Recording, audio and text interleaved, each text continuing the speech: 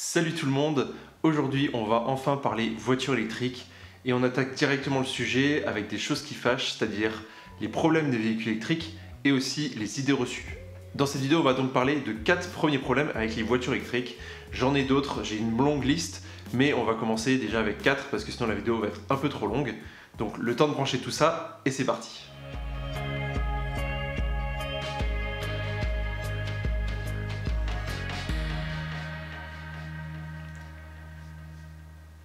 Alors la première idée reçue sur les voitures électriques, c'est que dans les bouchons, on peut tomber en panne. Donc c'est complètement faux, hein. déjà on va commencer comme ça, euh, puisqu'en fait une voiture électrique à l'arrêt ne consomme quasiment rien. Alors évidemment elle va consommer si vous avez la clim ou le chauffage d'activer, mais à ce niveau-là on a pas mal d'optimisation faisable. Alors la clim évidemment, euh, ben voilà, elle est active ou pas, donc là il n'y a pas 12 000 options, mais ça consomme pas non plus énormément. Et par contre pour le chauffage, ben, soit on peut activer le chauffage des sièges en fait, qui va être moins énergivore puisqu'en fait c'est des résistances. Et sinon la plupart des nouveaux véhicules électriques, ils ont des pompes à chaleur, ce qui fait qu'elles consomment aussi beaucoup moins. Par contre, même avec chauffage ou clim, vous allez peut-être consommer 2 ou 3 kW, donc c'est vraiment pas grand chose, il vous faudrait plus de 20 heures pour vider la batterie. Et si vraiment vous arrivez à 20%, bon bah vous désactivez le chauffage ou la clim et vous subissez un petit peu, mais vous pourrez repartir puisque la batterie sera quasiment pas consommée puisque voilà, vous aurez peut-être juste un écran ou les compteurs qui s'affichent. Maintenant, demain, c'est pareil avec une voiture thermique. Vous avez une voiture thermique, vous êtes bloqué dans les bouchons sous le soleil, bah, vous laissez votre moteur tourner parce que sinon bah, la clim elle marche plus ou elle va vider votre batterie 12 volts. Donc en fait, vous allez avoir votre moteur qui tourne, euh, vous allez avoir votre essence qui se vide, et puis au final, au bout de 15 heures, vous allez aussi tomber en panne. Franchement, c'est la même chose. Et puis racontez-moi la dernière fois que vous étiez plus de 8 heures dans des bouchons, faut y aller quand même, faut le vouloir. La deuxième idée reçue, c'est que les voitures électriques, ça tombe en panne dans la neige. Donc ça, je l'ai vu une tonne de fois sur les réseaux sociaux cet hiver. C'est complètement faux aussi. Une voiture électrique, ça fonctionne tout aussi bien qu'une thermique dans la neige. Voilà, il y a des roues, on les fait tourner, si on a des pneus neige, ça tient très bien la route, il n'y a aucun souci, donc c'est tout à fait pareil. Au contraire, lors du freinage, si vous avez une voiture électrique qui est capable de régénérer de l'énergie avec euh, le freinage régénératif du moteur, et eh ben en fait vous allez mieux freiner puisqu'en fait vous avez utilisé le ralentissement de la voiture et vous allez moins appuyer sur le frein, moins bloquer les roues, donc en fait vous allez peut-être même mieux rouler et avoir moins de risques d'accident. D'ailleurs pour la petite anecdote, en Alsace il y avait euh, des gens qui sont revenus des Vosges, donc qui sont revenus de la montagne, il y avait une tonne de neige qui était tombée, il y avait des bouchons en fait pour descendre de la montagne et euh, il y avait une Tesla sur la photo qui avait été partagée euh, donc sur le groupe du Barin. Et il y a pas mal de gens qui se sont un petit peu moqués, qui ont dit Ah là là, Tesla elle va tomber en panne avec la neige et tout. Euh, sauf qu'en fait, ben, c'est de la descente et du coup, le gars, il est parti avec 30% de batterie et en bas de la montagne, il en avait 36%. En fait, il a gagné de l'énergie puisque grâce à la pente, et eh ben, en étant dans les bouchons, il a juste à chaque fois euh, laissé la voiture descendre petit à petit, ça a régénéré de la batterie et au final, euh, il avait plus d'énergie en bas qu'en haut. Par contre, comme on le disait avant, le chauffage, ça consomme. Donc oui, effectivement, on aura moins d'autonomie si on utilise le chauffage. On va perdre à peu près 20 à 30% d'autonomie en hiver en utilisant un bon chauffage. Quand je dis en hiver, c'est euh, par euh, moins 5, 0, hein, pas par 15 euh, degrés. Vous allez donc évidemment consommer entre 20 et 30% d'énergie en plus, puisque voilà, votre voiture, si elle consomme entre 10 et 15 kWh au 100, ben là, si vous avez 2 ou 3 kWh de chauffage, ben forcément, ça consomme plus. Contrairement à une thermique, on ne peut pas utiliser la chaleur du moteur, donc évidemment, euh, on va du coup utiliser des résistances ou une pompe à chaleur pour chauffer l'habitacle, donc ça va consommer de l'énergie. Si vous cherchez une voiture électrique, justement, si vous voulez avec une pompe à chaleur, sachez que Hyundai ou Peugeot, ils ont justement des pompes à chaleur, ou même la nouvelle Tesla Model 3 de cette année, puisqu'ils l'ont mis à jour et ils ont racheté une pompe à chaleur. La troisième idée reçue, c'est qu'avec une voiture électrique, on ne peut pas faire de longues distances. Et c'est pas complètement fou. À l'heure actuelle, effectivement, c'est un peu compliqué encore de faire des longues distances, ou plutôt c'est pas compliqué, mais c'est long, fastidieux et ça coûte cher. Évidemment, on va éviter de parler de Tesla parce que c'est un peu le bon élève. Il vous dit quand partir, il vous dit où vous arrêtez, combien de temps vous arrêtez, combien de temps ça va charger. Quand la charge elle est finie, il vous prévient sur votre téléphone. Euh, voilà, il y a des bornes de recharge un peu partout, elles sont moins chères que les autres. Donc Tesla c'est un peu le bon élève, on va éviter d'en parler. D'ailleurs, petit détail, avec une Tesla, si vous choisissez une destination, elle va directement vous calculer le retour pour vous dire avec combien vous reviendrez avec le retour et s'il faut justement recharger au retour ou autre. Elle prend tout ça en compte. Donc voilà, pour vous dire que c'est vraiment très avancé. Alors du coup, c'est quoi les problèmes pour faire de longues distances? Le premier problème, c'est de trouver le trajet.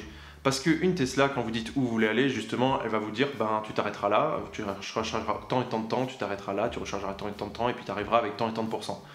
Aujourd'hui, les voitures électriques, elles proposent pas ça. Il y a la nouvelle Ford Mach-E qui propose quelque chose d'assez proche. C'est pas encore au niveau de Tesla, mais ça s'en rapproche.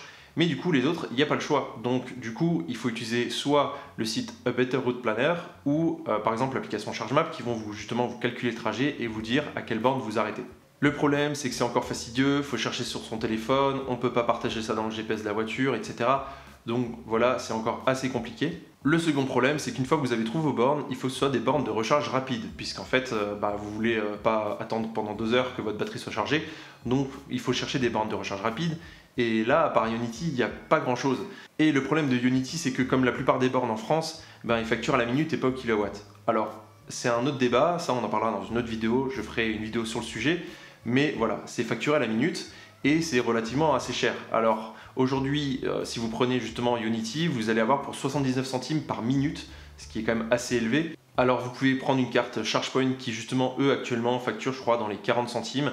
Par contre, c'est clairement pas définitif parce que voilà, il y a souvent eu des cartes qui euh, proposaient justement un tarif très avantageux euh, chez Unity et en fait au final bah, après quelques mois ils ont mis le tarif normal parce que ben, je pense que c'est plus pour attirer les gens à prendre leur carte et au final après ils augmentent leur tarif donc voilà Unity c'est relativement assez cher évidemment qui dit tarif à la minute eh ben on a envie de charger très rapidement le souci c'est que là du coup c'est pas les bornes Unity qui suivent pas parce sont capables de délivrer jusqu'à 350 kW pour vous dire, une borne Tesla, c'est dans les 250, sauf les, derniers superchargeurs V3. Mais du coup, pour profiter de ces 350 kW, il faut une voiture qui suit.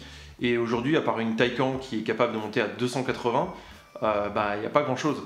Si vous achetez un Iniro, ben, il est capable de monter à 100 kW, et encore, ça c'est quand la batterie est chaude, donc il va plutôt tourner autour de 70-80. L'idéal du coup sur une borne Unity, c'est d'avoir une vitesse de recharge moyenne de 120 ou 130 kW. Avec une vitesse de 120 ou 130 kW, il vous faudra 30 minutes pour recharger 60 kW, simple mathématique. Le problème, c'est que les batteries, euh, ben, en fait, ça ne charge pas de façon constante.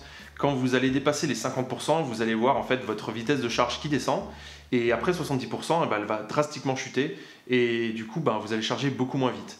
C'est pour ça qu'on recommande souvent de recharger plutôt entre 10 et 70%, voire 80%. Le problème de batterie, c'est comme si vous vouliez charger une bouteille d'eau le plus vite possible, mais sans faire couler une seule goutte à côté. Et eh ben à la fin, vous allez vite ralentir le débit pour pas que ben, ça explose et que vous ayez plein d'eau qui part partout. Donc imaginons qu'on veut charger une batterie de 60 kW de 10 à 70%, ce qui représente en fait environ 40 kW. Vu que la charge est un peu plus lente après 50%, on peut tabler sur 30 minutes de charge à peu près, avec une moyenne de 80 kW. Du coup, au final, ça ferait 23,70€ pour faire environ 300 km. C'est pas cher, mais c'est pas non plus exorbitant. Mais comme je le disais, eh ben, le souci c'est la vitesse de charge de la voiture. À part une Tesla, une e-tron à un prix fou ou une Taycan, eh ben il n'y a pas grand chose qui charge au-dessus de 100 kW. Si on prend par exemple le Hyundai Kona ou la Kia Iniro qui ont justement une bonne autonomie sur autoroute, eh ben malheureusement elle dépasse rarement les 77 kW et après 50%, et eh ben ça chute encore plus bas. Du coup avec un Kona ou un Iniro, on va avoir plutôt 60 kW de charge en moyenne pour recharger de 10 à 70%. Et du coup ça fait déjà 45 minutes de charge, soit 35,55€. Donc là ça commence à piquer pas mal. 35 euros pour faire 300 km d'autoroute, euh, ben, alors ça reste moins cher qu'une station essence sur autoroute, mais vu qu'avec une thermique on peut faire le plein avant de partir, ben, du coup on arrive euh, à peu près au même tarif que pour une thermique, voire plus cher. Donc au final, ben, ça fait encore pas mal de problèmes pour faire des longs trajets en voiture électrique. Alors bien sûr, c'est pas impossible, c'est juste que c'est un peu coûteux. Et du coup, je peux comprendre qu'il y a des gens qui sont réticents de partir sur une voiture électrique du coup à cause de problèmes comme ça. Alors par contre, euh, faut pas oublier que le reste de l'année, à moins que vous faire euh, du coup justement de l'autoroute tous les jours, ben, le reste de l'année vous allez faire de sacrées économies. Donc c'est pas le fait que ce soit un peu plus cher pour partir deux fois en vacances qui va changer grand chose. Même si ça revient un peu plus cher que l'essence, c'est que deux fois par an, le reste de l'année vous allez faire d'énormes économies. Donc si vous voulez passer à l'électrique, ben faites attention, regardez la vitesse de charge maximum en courant continu sur vos véhicules parce que ça peut fortement jouer justement sur vos voyages. Et si vous avez un modèle qui vous intéresse, vérifiez bien sur internet, parlez avec des propriétaires parce que ben, par exemple avec la Hyundai Ioniq 38 kWh, et ben en fait euh, il y a indiqué dans la notice que c'est une 77 kW au niveau du chargeur et en fait c'est un 50. Du coup il y a beaucoup de gens qui ne peuvent pas charger très vite. Euh, enfin voilà, c'est complètement aberrant que la notice soit pas à jour. En fait, ils ont, je pense, gardé les statistiques de la Ioniq 28 kWh qui était avant, qui avait un chargeur plus rapide. Et euh, du coup, ben, il y a des fausses informations. Et le dernier point sur les véhicules électriques, c'est qu'on ne pourrait pas utiliser de cric pour changer les roues. Et en fait, juste, bah, c'est faux. Euh, c'est-à-dire que, comme pour une voiture thermique, il y a quatre points euh, à chaque euh, angle de votre voiture qui vous permet à, cet endroit-là de mettre le cric et de soulever la voiture et de changer vos roues vous-même. D'ailleurs, avec le club Tesla, on a fait un regroupement et on l'a fait tous ensemble. C'était dans la bonne humeur et tout, avec un peu de bière, tout ça. Buvez de l'alcool avec modération. Donc non, c'est tout à fait possible de changer vos roues vous-même. Vous avez un cric, vous le mettez au bon endroit et puis vous soulevez la voiture à cet endroit-là. Il y a des armatures du coup renforcées à ces endroits-là pour ne pas toucher la batterie, il n'y a aucun souci. D'ailleurs, si c'était pas possible, je me demande comment les garagistes feraient pour changer euh, les roues, parce que du coup, à part les soulever au niveau des roues, je vois pas comment ils feraient. Donc euh, heureusement, oui, les crics euh, fonctionnent. Voici donc pour ces quatre petits problèmes et idées reçues sur les véhicules électriques. J'espère que ça vous a intéressé. Si jamais ça vous a plu, n'hésitez pas à vous abonner pour recevoir les autres vidéos sur les véhicules électriques. Et si vous avez des questions pour les prochaines vidéos, ben, n'hésitez pas aussi dans les commentaires à en parler. J'ai déjà pas mal de vidéos prévues sur le sujet, notamment sur euh, le recyclage des batteries, euh, si justement une voiture électrique, est-ce que c'est vraiment plus écologique? Je dis pas que c'est complètement écologique, mais est-ce que c'est plus écologique qu'une thermique? Enfin voilà, j'ai pas mal de vidéos à traiter sur le sujet, donc j'espère vous revoir bientôt. Salut tout le monde